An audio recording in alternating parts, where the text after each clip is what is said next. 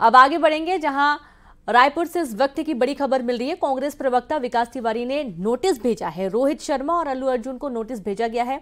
चैतन्य techno school का brand ambassador होने पर नोटिस जारी किया गया। चैतन्य टेक्नो स्कूल पर ठगी का आरोप लगाया गया है। बड़ी जानकारी है रायपुर से, जहाँ पर कांग्रेस लगातार रोहित शर्मा और अल्लू अर्जुन को अब नोटिस जारी किया गया है। चैतन्य टेक्नो स्कूल पर ठगी का मामला सामने आ रहा है और इसके चलते भी इन दोनों पर नोटिस जारी किया गया है। हमने ठगा सा तब महसूस किया जब हमको ये पता चला कि पिछले सत्र में इस स्कूल को ना सीबीएसई की मान्यता थी, ना सीजी बोर्ड की मान्यता थी। कुछ दिन पहले जिला शिक्षा अधिकारी रायपुर के द्वारा इनको नर्सरी से आठवीं की सीजी बोर्ड की मान्यता दी गई, जबकि यहाँ पिछले साल कक्षा आठवीं के बच्चे नौवीं गए और नौवीं के बच्चे दसवीं चले गए हैं। इतने बड़े बड़े स्टार के, चाहे रोहित शर्मा हो, चाहे अल्लू अर्जुन हो, ऐसे लोगों के परिवार के साथ जुड़ के हम अपने आप को ठगा सा महसूस किए हैं। मैंने अपने वकील के द्वारा इन दोनों महान हस्तियों को लीगल नोटिस भेजा है और मेरी उम्मीद है कि जल्द ये मेरे लीगल नोटिस का जवाब देंगे, नहीं तो फिर इनको कानूनी कार्रवाई का सामना करना पड़ेगा। तो देखा आपने यहाँ पर चैतन्य टेक्नो स्कूल पर ठगी का आरोप लगा और इसके चलते इन दोनों ही कलाकारों को, अब एक खिलाड़ी हैं और एक कलाकार है जिनको नोटिस जारी किया गया है और सीधे रुक करेंगे ममता लांचबाज जुड़ गई हैं। अब ममता, नोटिस जारी किया गया देखा यह जा रहा है कि रोहित शर्मा, अल्लू अर्जुन जो कि ब्रांड एम्बेसडर की भूमिका में रहे हैं और इन्हें अब कांग्रेस प्रवक्ता विकास तिवारी ने नोटिस भेजा है। आ, बिल्कुल देखिए अमूमन हम देखते हैं कि जो स्कूल होते हैं ख़ासतौर पे आकर्षक विज्ञापन होते हैं और कई बार जो है बड़े जो सेलिब्रिटी चेहरे हैं वो आ, उनका विज्ञापन करते हैं या आ, उनकी जो होर्डिंग्स होती हैं स्कूलों की जो विज्ञापन के जो होर्डिंग्स होते हैं उसमें इन लोगों की तस्वीरें लगी होती हैं हम्म। फ़ोटो लगे होते हैं और ये इस तरह इसके ज़रिए आश्वस्त किया जाता है कि कितनी जो क्रेडिबिलिटी है वो स्कूल की है और बहुत सारे दावे किए जाते हैं विकास तिवारी का कहना है कि सीबीएसई मान्यता प्राप्त बताया गया था उन्होंने अपने बच्चों का भी एडमिशन करवाया उसके साथ ही पूरे छत्तीसगढ़ में भी लोग एडमिशन लेते हैं और कई जगह इसके ब्रांचेस जो हैं वो खुले हुए हैं। तो इस लेकिन वहाँ पर पता चला कि उसको सीबीएसई की मान्यता नहीं है। इसको लेकर जिला शिक्षा अधिकारी कार्यालय का घेराव भी कई बार एन ने किया था और इसके खिलाफ हालाँकि कंप्लेन भी हुई थी इस जो प्रदर्शन है उसके खिलाफ।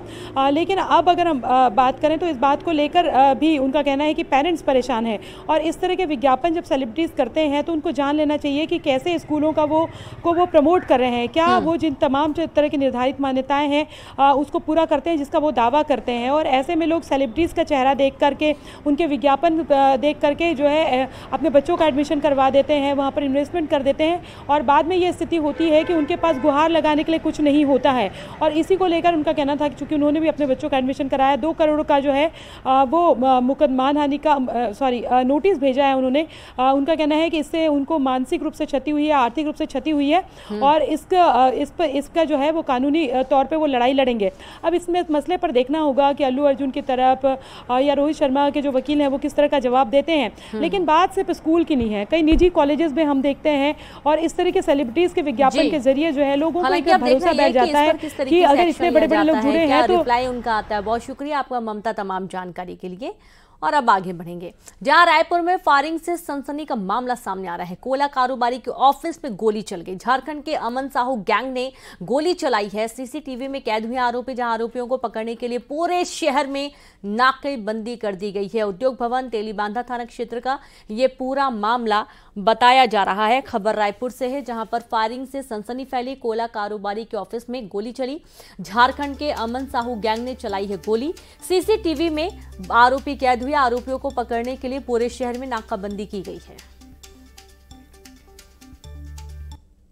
एक अभी फायरिंग की घटना अभी सामने आई है। अभी कुछ दिन पहले भी हम लोगों ने एक फायरिंग की घटना होने से पहले अपराधियों को पकड़ा था। ये झारखंड के अपराधी हैं और ये मैं आपको बताऊँ इसमें अमन साहू जो गैंग है लगभग नब्बे मामले उसके खिलाफ झारखंड में फायरिंग और अन्य लोगों के खिलाफ आ, आ, उसके गैंग के मेंबर के खिलाफ है।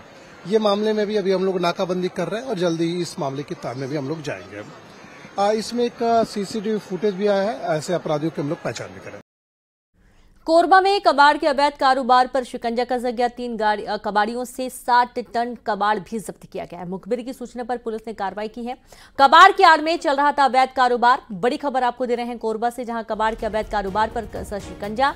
तीन कबाड़ियों से 60 टन कबाड़ भी जब्त किया गया है।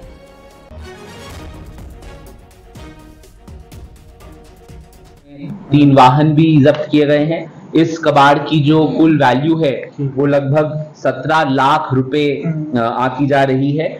इसके अंदर जिन कबाड़ियों के ऊपर कार्रवाई की गई है, उसमें सर्वप्रथम मुकेश साहू बरबट्टी, जो कि राता खार के हैं। इनके ऊपर 102 के अंदर भी कार्रवाई की गई है और थ्री सेवेंटी नाइन जो कि अब चेंज हो गया है चोरी के ऊपर भी कार्रवाई की जा रही है।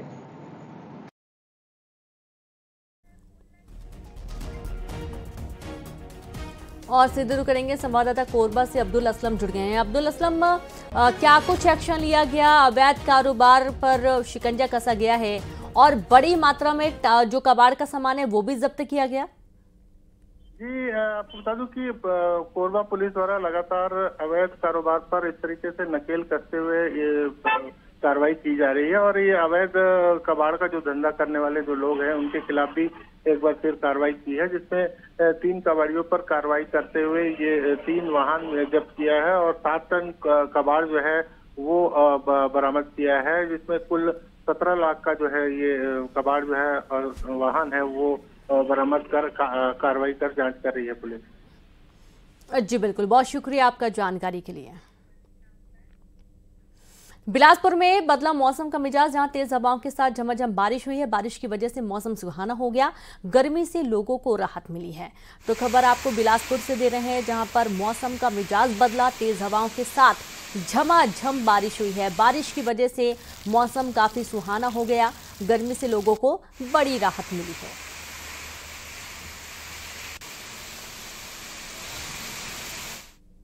और चलिए अब देखेंगे बीस बड़ी खबरें तेज अंदाज में।